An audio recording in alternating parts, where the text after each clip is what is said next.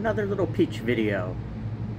This time I took one of the mice and put it into uh,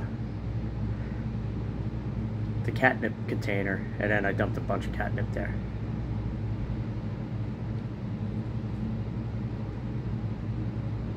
And she's loving it.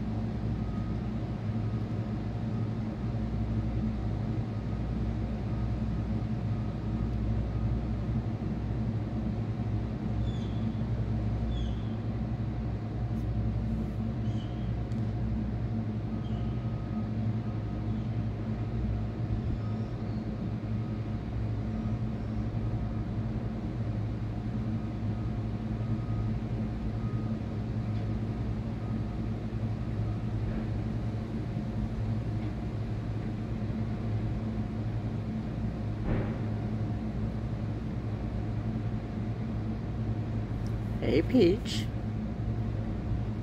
Done with your catnip?